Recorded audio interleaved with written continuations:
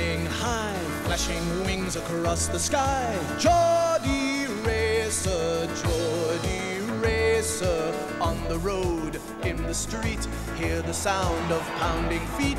Geordie Racer, Geordie Racer, fly. The story so far.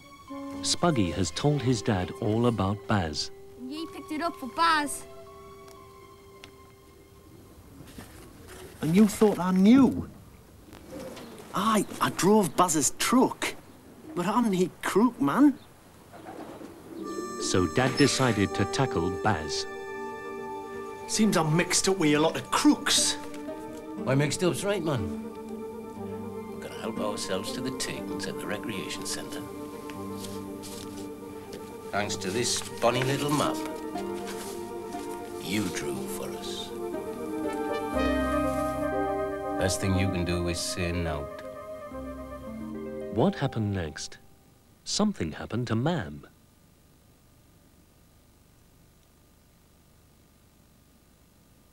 She tripped over Plod and broke her leg.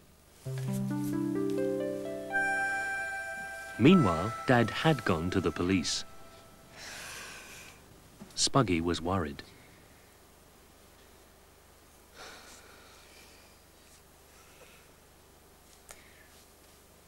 Isn't Dad back yet? Do you think the police have locked him up? If they have, I'll be round to sort them out. They've knee right. Oh, now give over, the pair of you. You know he's done the right thing going to the police. We'll just have to... He's back!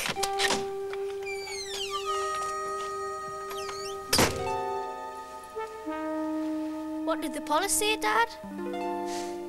They said thanks.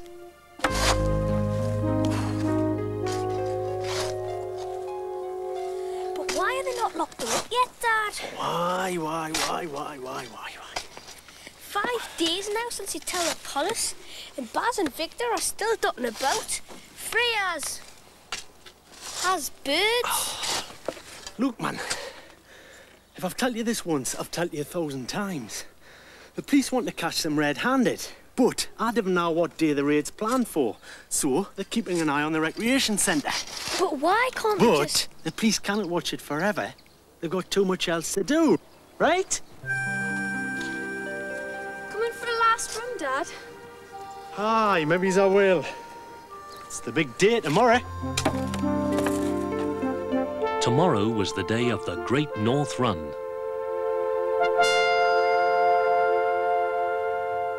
Oh, the big day at last. It was Mum I felt sorry for. A broken leg and in plaster. A leg in plaster? Huh. It was all the fault of that lazy bones plod. Poor old Plod. You really don't like him, do you? No, I don't.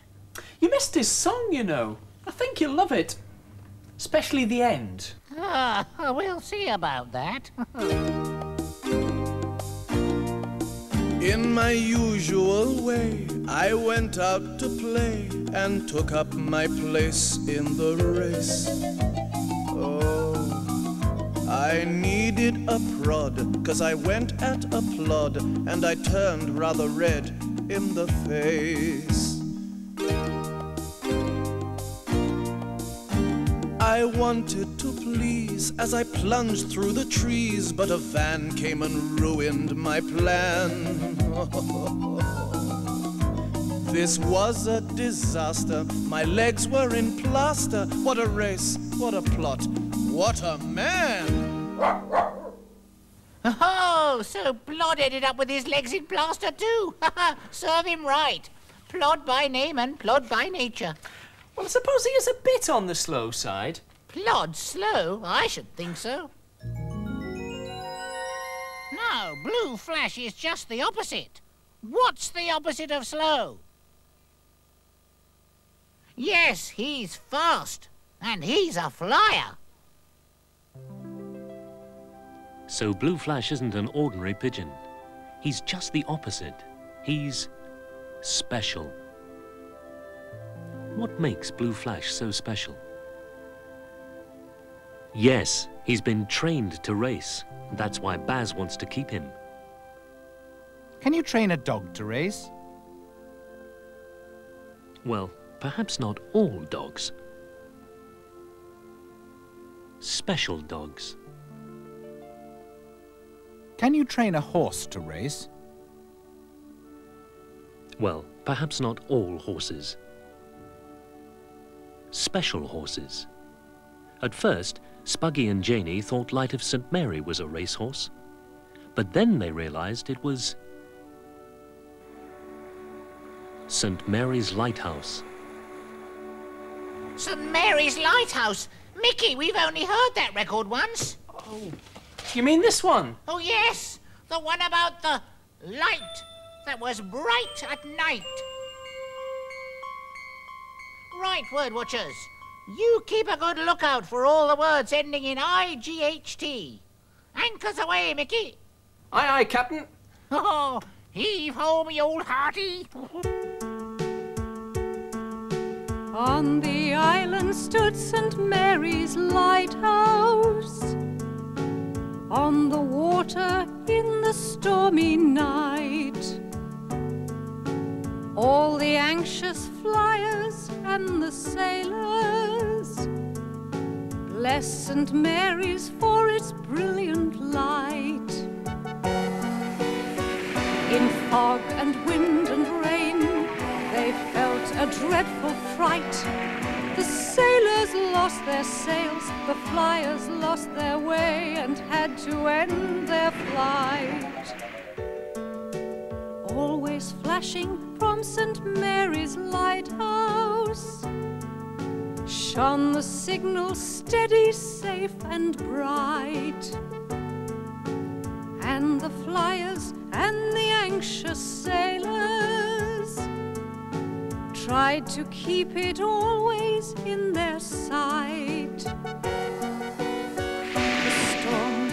Getting worse, it beat with all its might. But the flashes from St. Mary's lighthouse signaled fear no more, this way is right. Oh, it's finished.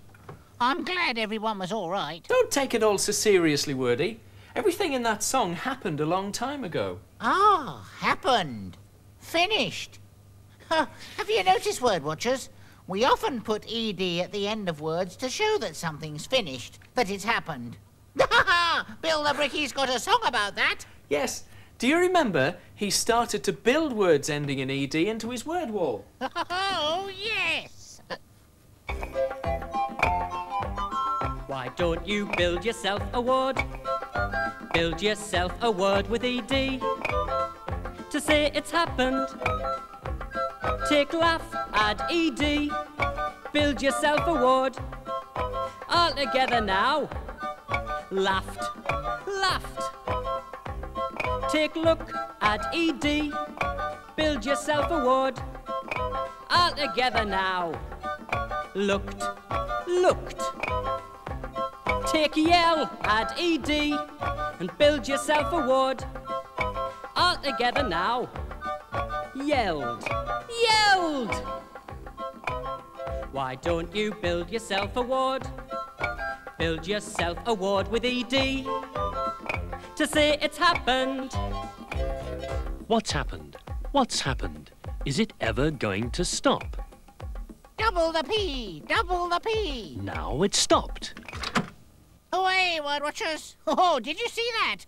Adding ed isn't always as simple as you think. With some words, you can't just add ed. You have to double up the last letter of the word as well. Look again. Stop.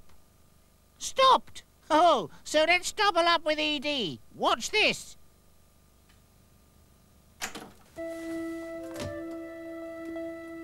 Did Spuggy slam that door? Double the M, double the M. Yes, it slammed. Do Baz and Victor plan to raid the recreation centre? Double the N, double the N. Yes, they planned the crime together.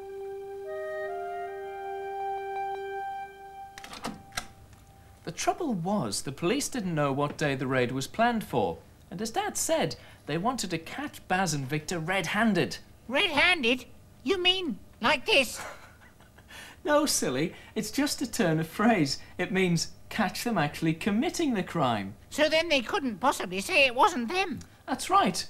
Now, when something serious like that happens, our newsroom get to hear about it almost at once.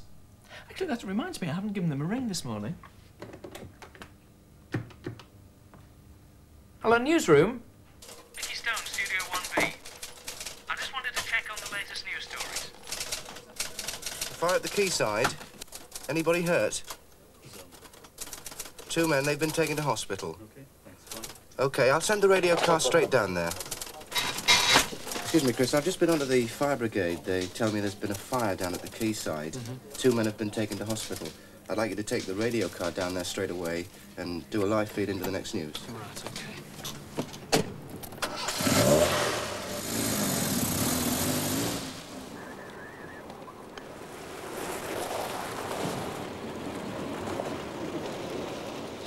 There, uh, Chris Jackson from Radio Newcastle. You're Hi, the officer Chris. in charge? Yes, I am, yeah. Right, what's your name? Divisional Officer Ken Horn. Right, do we know what the situation is on board at the moment?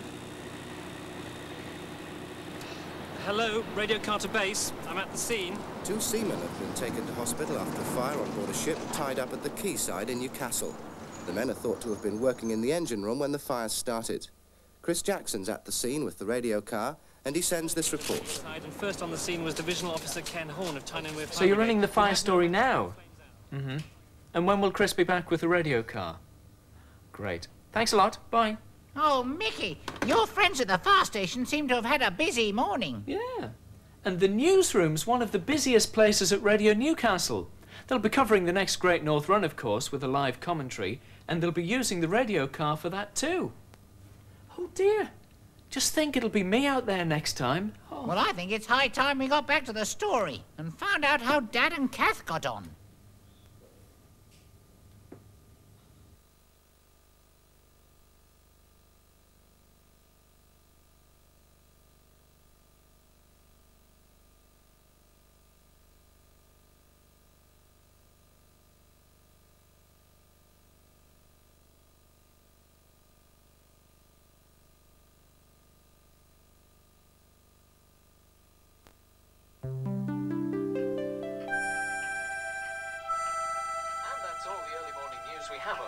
Newcastle. Now time for a check on the weather forecast as we go over to Newcastle Weather Centre. And here's the weather forecast for the big day. It will be fine, and early on there'll even be some sunshine. The light wind from the northwest shouldn't be too much of a problem, but later on it will become cloudy, and there may be some light showers near the coast.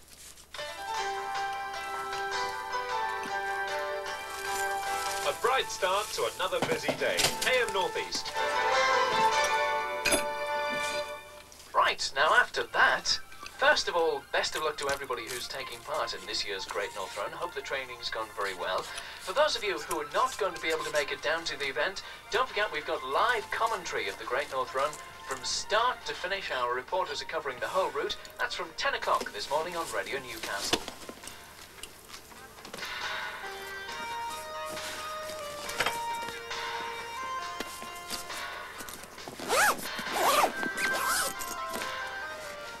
Now, are you sure you've had enough to eat, Pet? Aye, Mum. And you've got everything you need? Aye, Mum. Aye, it's an awful shame you're not running with this, Bev. Hmm, well, it's my own daft fault. I shouldn't have fallen over the dog. Aye. Are you coming to watch then? Maybe later on. I've got to see to the pigeons first. Hey, good luck, Dad, right? Thanks, son. Aye, I'm gonna need it. so is it pigeons first? Aye, aye, so it should be. How we now, you two. Get going. You're going to be late. The rest will be at Shields before you two have got started at this rate. Thanks, Bev. Good luck. Ta-da. And enjoy yourselves. Right, ta-ra, Mum. See you later.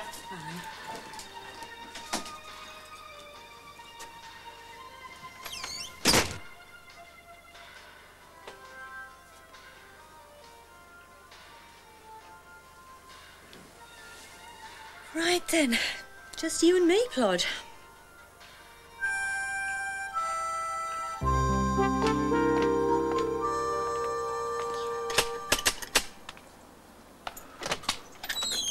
Morning, Mrs. Hilton. Oh, hello, Mickey.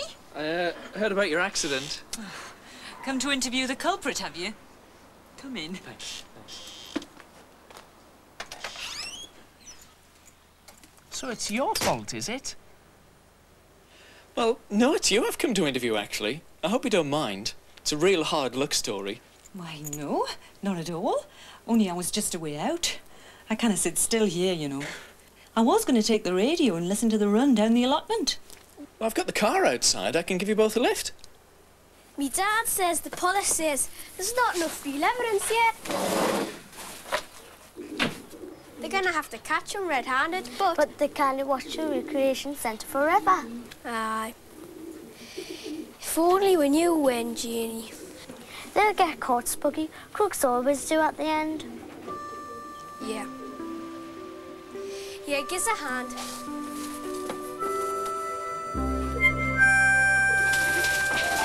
Look,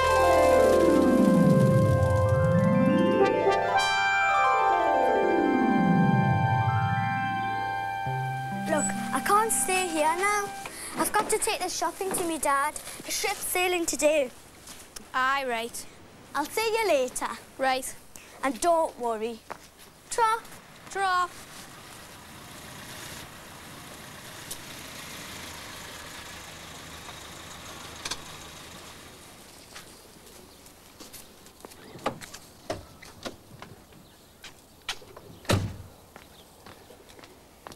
Hi, Spuggy. Hi. You must be the only two people in Newcastle who aren't going to the run. You should see the crowds. Police have got a hard day today. I've uh, just found out what was on your mind the other day. You did right to speak to your dad.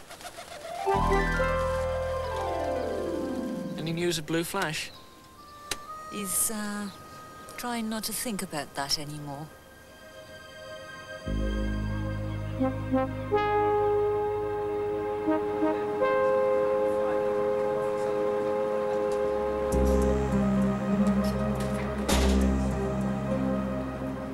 As Janie was leaving her dad's ship, she saw Baz and Victor.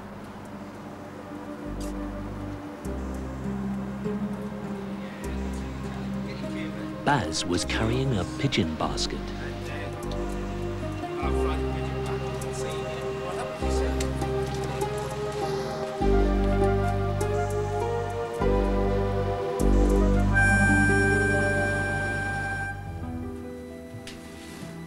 Right now, you look after the rest while I'm away. I'm still not happy about looking after pigeons. Oh, happy, man. I'm only away for a few days. You'll manage. Uh, I'm looking after this one now. This one's special.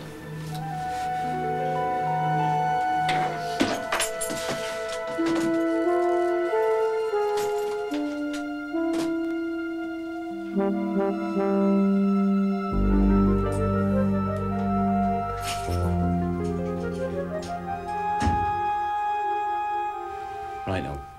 I'll see you in an hour at the metro exit. Right.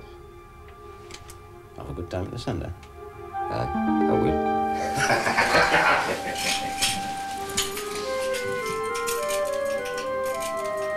oh, hang on a minute. Better lock the door. Maybe there's burglars about.